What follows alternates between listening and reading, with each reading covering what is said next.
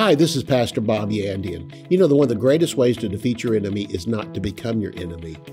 David told us in the Word of God, don't be envious of the workers of iniquity. So stop being jealous of them and think about this. God has a plan for your life with the success attached to it without any sin in it at all. Let's go to the Word of God together. For more than 40 years, Bob Yandian has been an expositor of the Bible, making seemingly complicated doctrine easy to understand. Grab your Bible and study the Word of God with Bob Yandian. Hello and welcome again to Student of the Word with Pastor Bob Yandian. It's great to have you today. If you want to find Psalm 37, verses 1 and 2, we'll be going there in just a moment. But today I just simply wanted to get a word of God to you and talk to you about the importance of resting in God, learning to be patient for the things that God wants you to have. You know, there was a number of years ago, we had a, a, a group of young men run for uh, Congress and Senate in Washington. They called it, uh, you know, a, a, contract with America. And what they were going to do, they had a contract laid out with, you know, a number of points they were going. They promised to keep those points. And so we voted on them. We did, they got swept into office. then we asked later, about seven, eight months later, whatever happened to the points they were going to keep? And, oh, we're coming, we're coming, we're still working on it never did come to pass. I mean, a few of them did, but not. The problem was those young, naive young men went up there thinking they're going to carry their morals and all that things in there, but never knew the pressure they're going to be un, under and ended up becoming their enemy. That was so sad that many of them, you wonder whatever happened to them. They got kind of sucked into the system. They saw all the things around them. They found out that quick riches can be gained uh, while being in Washington, even though you don't have much of a salary, yet there's people out there willing to pay you to do what they want you to do. And just that pressure they lived under continually and it shows you that character has to be more than just surface deep.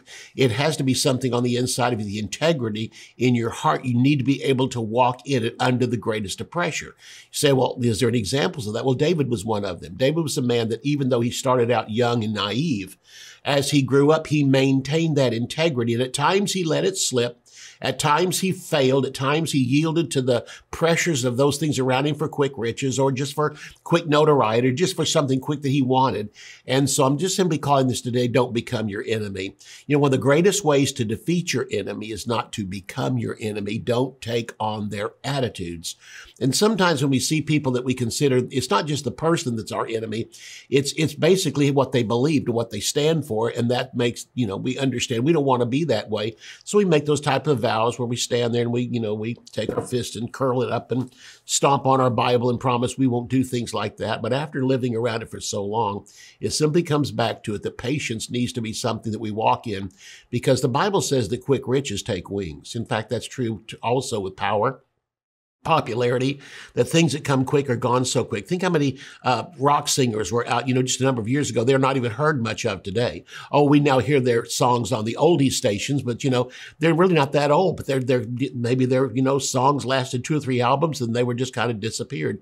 And while they were there and under that notoriety, they spent money like crazy, bought cars, homes, things like that, and found out later on, you know, it doesn't last. And we try to tell them it doesn't last, but they don't believe it. They somehow think they are unique. And so, again, to find somebody that's got a brain in their head uh, in the world is difficult. But, you know, finding a Christian that will walk in integrity and maintain that integrity is also hard to find. So we're going to use David as an example today. I think about when David was first discovered. You know, uh, Samuel the prophet came because God told him to go to the house of Jesse and he would find the next king there. So Jesse paraded his six sons out in front of them, or seven sons, and, and, left David out in the field taking care of the sheep because why? Daddy wasn't too proud of him. Man, his other sons were going to college. They were in the military. You know, they had uh, were headed for great rank in the military, and, and the father was just so proud of them. But David was out there keeping the sheep, so he didn't bring David in. And it's interesting to see that uh, what God wanted was what David had, and that was integrity. He learned more taking care of the sheep than he did in a college, a university, or else even going to the military himself. He was just out there, and all he had was basically the word of God, a bunch of sheep. And, uh, you know, those sheep themselves, you know, they don't take much, you know, uh, they need you for a while, then they want you just to leave them alone. They need you to take care of them, to feed them, to protect them. But after that, when things are calm, they just want to be out there eating grass, you know, and so that's what David was used to. And so the first thing that David ran into with his father was his father would overlook him. Uh, since he was out there in the field and, and, you know, they didn't think much about a shepherd, the father just left him there. And so whenever the prophet came by and all the six sons were put out in front of him, you know, starting with Eliab, the oldest, and on down, you know, one after another. He stood there and looked at them, and God would go, No, he's not the one. No, he's not the one. After six of them, I mean, he, he looked at, at uh, you know, Jesse and said, You have any more? And he goes, Yeah, we got one more, but, but he keeps the sheep. I mean, just the, the way he said it, he keeps the sheep. So, you know, it's almost like, well, you know, I'll go get him. But you know what? Even finding out he's a shepherd, he probably smells like the sheep, looks like the sheep. He probably has, you know, um, you know, fur on him and, and dirt and stuff like that and, f- and pieces of straw here and there. And that's what he does all day long. That's just what he's out there doing. So, in other words, what kind of preparation is keeping the sheep? Well, I think about throughout the Old Testament and the New Testament, it was Moses that tended sheep for 40 years until he learned to subdue himself. And then he went back to uh, deliver Israel from Egypt. And so he had to do that before he could go back there. In other words, God had to sweat Moses out of Moses and make him a nobody to where God could finally make him a somebody. He started out as a somebody thinking himself as great and God had to get all of that out of him and bring him to the point where after 40 years, he said, I can't even speak now. And God said, good. That's what I've been looking for. Your brother can go speak for yourself. He says, or, you know, you can come to yourself. And that's what happened. You know, that uh, Aaron spoke for him for a little bit, but finally Moses pushed him out of the way and started speaking for himself. So David ran into this thing about my father's just overlooking me. So whenever he was brought in, of course, I'm sure the son saw him. Oh my gosh, here he is. You know, he had to bring that smell into the house, had to bring that look into the house. You're dragging hay with you and all the different stuff. And when he got into the house, the first thing the Lord told uh, the prophet was, Samuel, this, this one's one. And so he became the one. I'm sure the first thing that David in his naivety must have thought was, why does my father overlook me? I mean, he couldn't see what his father saw. He didn't look with the eyes that his father saw, and he couldn't understand why his father played favorites. And really, his father shouldn't have, but the father simply looked at all the natural things we look at education, what position he has where he's going to school, what kind of job he has. Look, he's in the military. All these things that would, are good for kingly material, especially when the prophet comes in looking for the next king. Next of all, once David went down to slay Goliath, his, he met his brothers down there, and his brothers were angry with him. Well, what, what, how did you leave those few paltry sheep back there? Now he's probably wondering, my father overlooks me. Now my brothers are angry. Why are they angry with me? David was so naive, he couldn't see it. And with that naivety, there was a simplicity about David that attracted people, but always, again, those that had power hated him because those with power usually did it by pulling the right strings, doing the right things. And much like those ones I talked about that went off to Congress and Senate and then just kind of disappeared. And after a while, you don't hear about them anymore. They got caught up in the traps of trying to be their enemy and or act like their enemy. Or after a while, with all the pressure, you finally just give up and think, why should I keep on doing? Look at these guys. These guys are doing things wrong and look how much money they have, position they have, power they have. And so they just yield to it. And what I'm calling this today again is don't become your enemy. Then next of all, once he came into the position and the women and the and, and the nation loved him. They even made hit songs about him when he went to battle and came back that Saul has slain his thousands and David has slain his tens of thousands.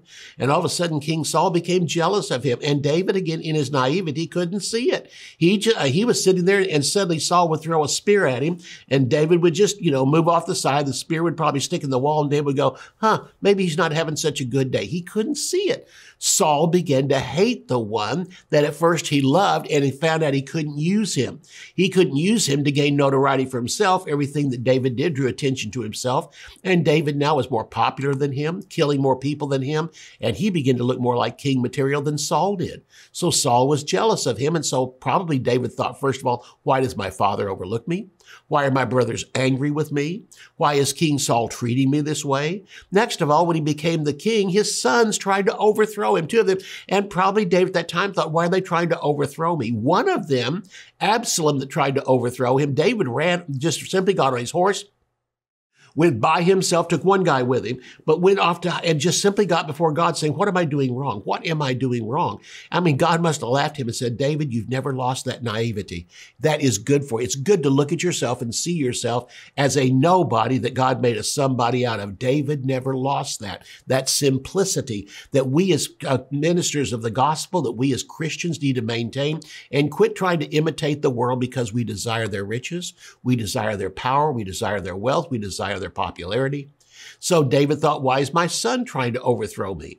And next of all, then he found out, and he actually reported, why does my closest friend raise his heel against me? And so David was wondering about this. In fact, he became a type of what happened with Jesus in the New Testament. And here we had David saying, Why did my closest friend raise his heel up against me? And so, next of all, the question he asked quite often throughout the Psalms is this why do the heathen prosper? Why do the wicked prosper? Why does prosperity for a righteous man take so long? And God kept answering that question, but at the very end of David's life, he became again one of the wealthiest men in the world. Uh, he was only eclipsed by his son Solomon. So you can fret over your enemies so much for prospering that eventually you give up and even take on their ways. That's what I was talking about with the young men that went to Washington. And we find it throughout the Old Testament. Oftentimes when a person became uh, in the place where God wanted them to be, that they began to be overwhelmed by the wealth of the wicked, the power of the wicked, and, and they went after them. Samson was one of those. I'm sure by now that you found Psalm 37, and we're going to take a look at verses 1 and 2. And again, you can fret over your enemies so much for prospering that eventually you just give up and you take on their ways. Psalm 37, 1 and 2 says this, Don't fret because of evildoers, nor be envious of the workers of iniquity, for they will soon be cut down like the grass. What God is saying is don't look at the momentary victories they're having, the momentary prosperities, the momentary happiness, and the momentary the power they have, for soon they're going to be cut down like grass. Well, the the first place where they're cut down like grass is usually when they're overtaken militarily.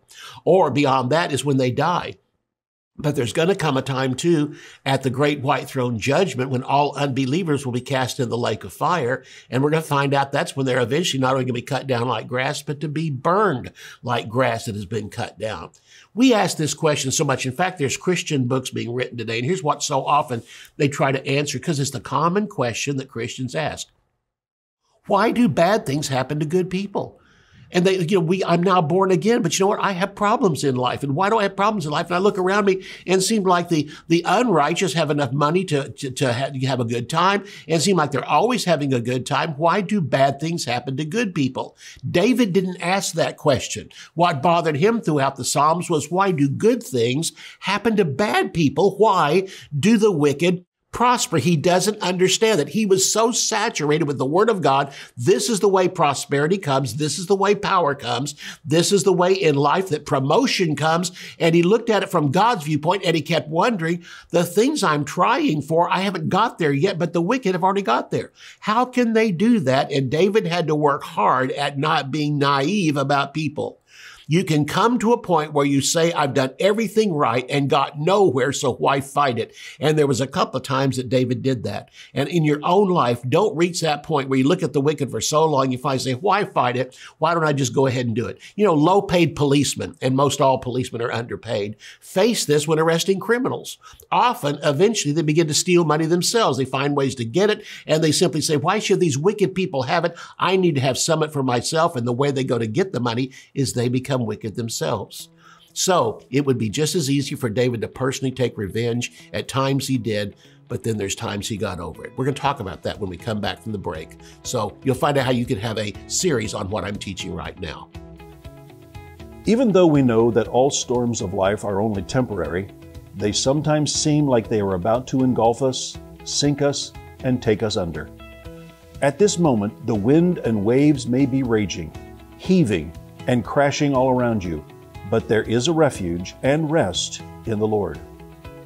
But even if you are in the center of a storm, far from all other help, you can cast all your cares on the Lord and enter into God's supernatural rest, right there in the very middle of that storm. Join Pastor Bob Yandian as he explains what you must know and believe in order to sail through all the storms of life completely at peace and totally burden free. To order Resting Through the Storms of Life, go to bobyandian.com. Join Pastor Bob Yandian as he explores the scriptures and explains how David responded to jealousy, betrayal, defeat, praise, fear, victory, and repentance.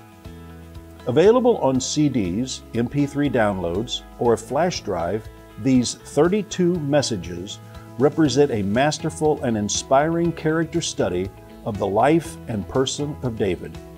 To order The Life of David, go to bobyandian.com. Bob Yandian Ministries is training up a new generation in the Word of God. Because of your generosity and faithfulness, this teaching ministry is able to change countless lives. You will never know until you get to heaven how many people received Jesus, were filled with the Holy Spirit, healed, or found God's will for their life through your support and prayers.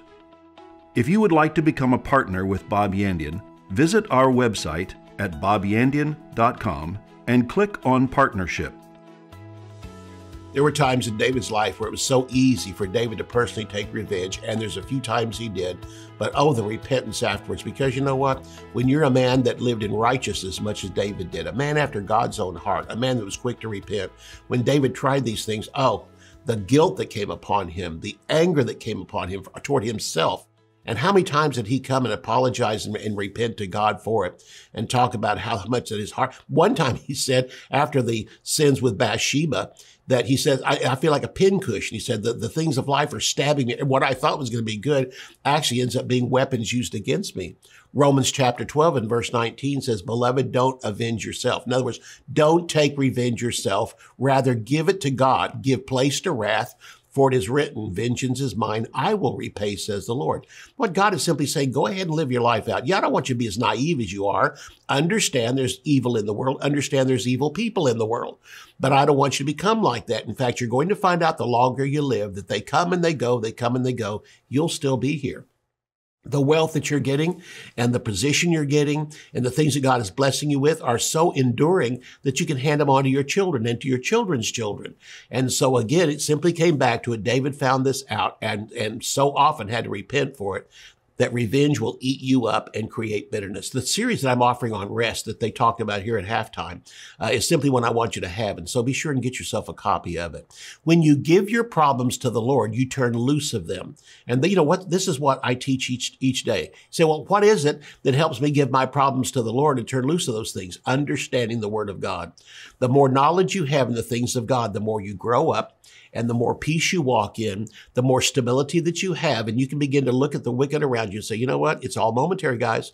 It's going to end one day. It might end before you die, but you know what? Even if you do die with all this great riches, you can't take them with you.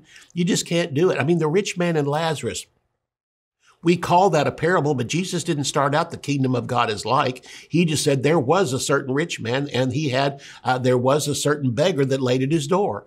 This was a true story. Only Jesus was the one that got to see what was on the other side. In his deity, he watched what happened on the other side as that uh, the rich man went into hell and was in torment and Lazarus went into Abraham's bosom at great peace. And there was a chasm divided where they couldn't go back and forth. And this man suddenly realized money does you no good outside once you die and once you leave the earth. And money will do you some good while you're here, but even money itself brings problems. And so that's when he began to beg, God, just send somebody back to warn my brothers about this place. He said, no, if they won't trust Moses and the prophets, what simply comes down to it, if they won't trust the preachers and the word, I'm not going to make a personal appearance or send somebody back from the dead to go speak to them because even then they wouldn't believe it. I have sent the preachers of the word of God, that was Moses, and I've sent the word of God. And that's what we have to grow in. So you can live your life and know God and take care of your own situations and try that all your life, or else you can simply turn it over to God. You can take them and give them to Him and understand He's going to take care of you. And in the meantime, while He's taking care of you, He's going to give you great peace in the midst of all of it. There comes a time, yes, you stand up for yourself, and you have to know the difference between those, but also you never take revenge on yourself. You never say, well, God, you're taking too long. You know, I'm a, I'm a see to it that those people fall. I'm a spread rumors about them them. And God simply saying, You don't need to do that. I'll handle it in my time.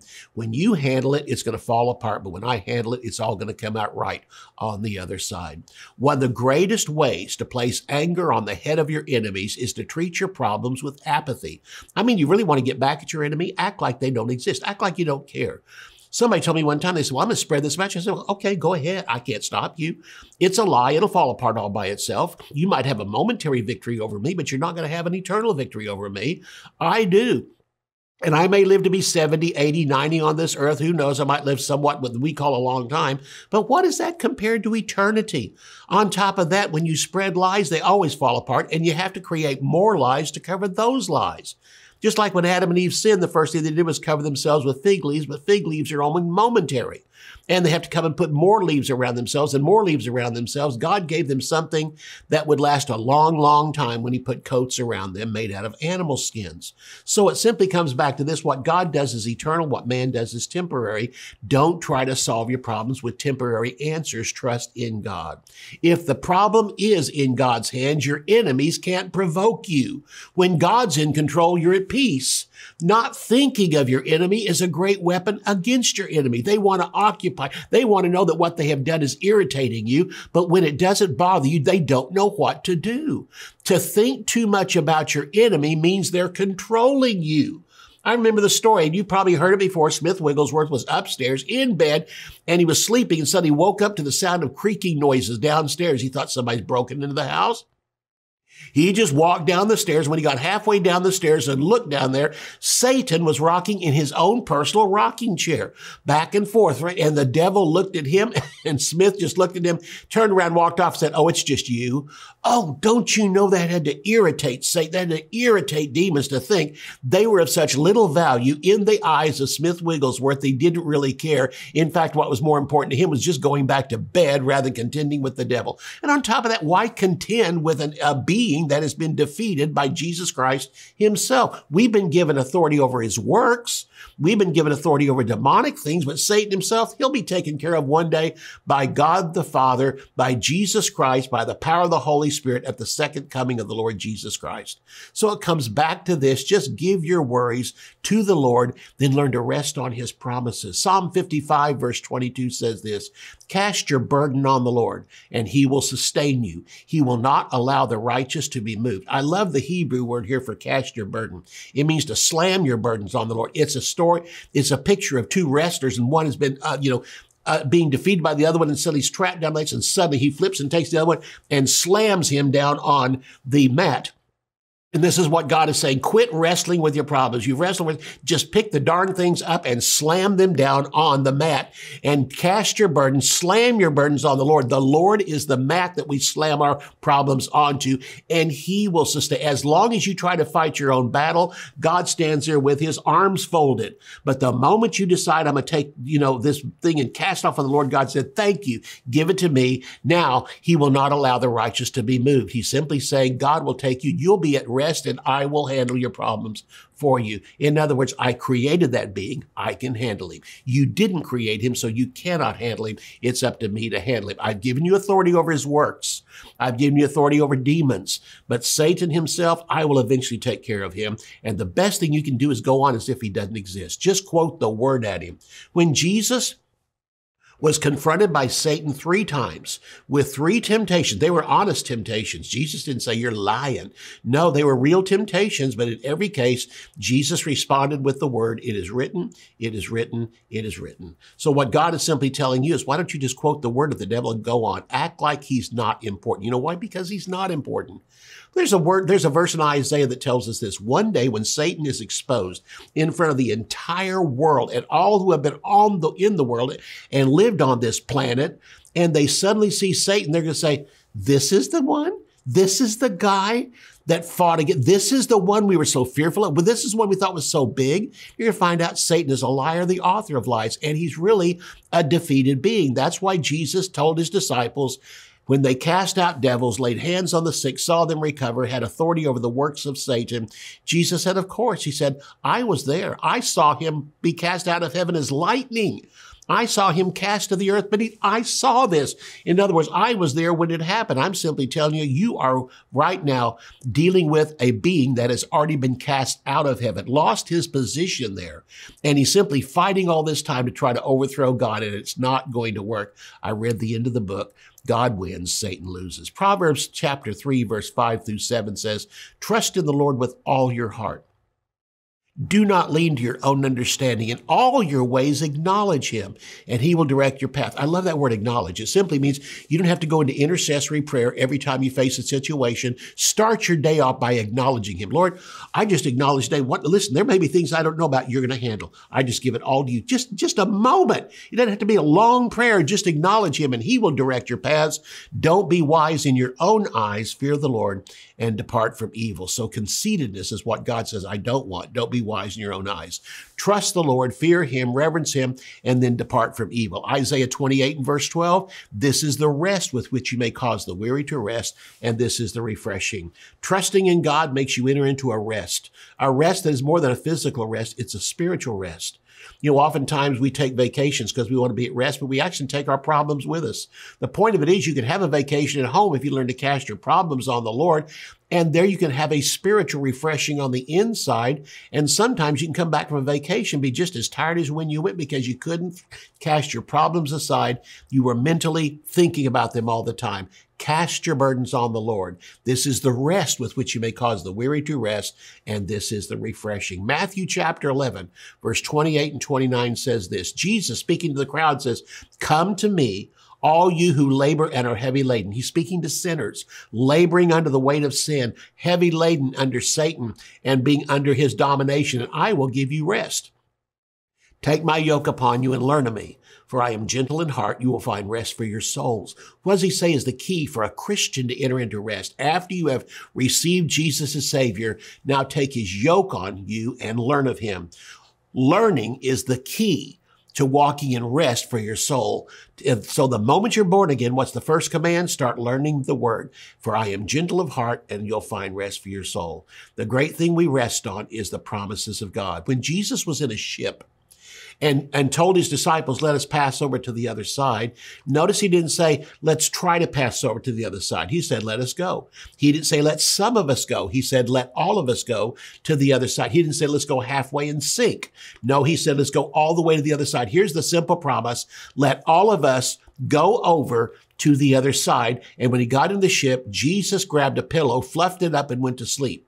The disciples saw a storm coming. The storm was so bad, the boat was being tossed everywhere, everywhere. And they shook Jesus and they woke him up and said, don't you care that we perish? What a contradiction. Jesus said we're going to the other side. They said we're perishing. Jesus didn't say let's perish before we get to the other side. He just said let us go to the other side and Jesus went to sleep on a pillow. Jesus was so angry with them. He woke up, stilled the storm and then looked at them and said, Oh, you of little faith. And so again, he chewed them out. He upbraided them, the King James says. I want you to understand something. The greatest display he was showing them of faith is not to still the storm. The greatest display of faith is to sleep through the storm, resting through the storms of life. And this is what God wants us to do. This is all I'm telling you. You want to not be taken in by the pressures of the world. Learn to rest in God. Next of all, learn to walk in patience toward the things of this world, and God will bring you through successfully every single time. You'll come out on the other side and look back, and guess what? Your enemies were drowned, not you. You made it to the other side. Well, have a great day. We'll see you tomorrow. I might, might continue on with the subject. I don't know, but we'll go on talking about the faith and rest of God. You can order resources, become a partner, or browse free articles and podcasts by visiting our website at bobyandian.com. You can also join our mailing list and receive weekly devotions and the latest ministry updates. If you would like to contact Bob Yandian Ministries, visit bobyandian.com and click on Contact. To contact us by mail, use the address on your screen. Thank you for watching today's broadcast. We'll see you next time on Student of the Word with Bob Yandian.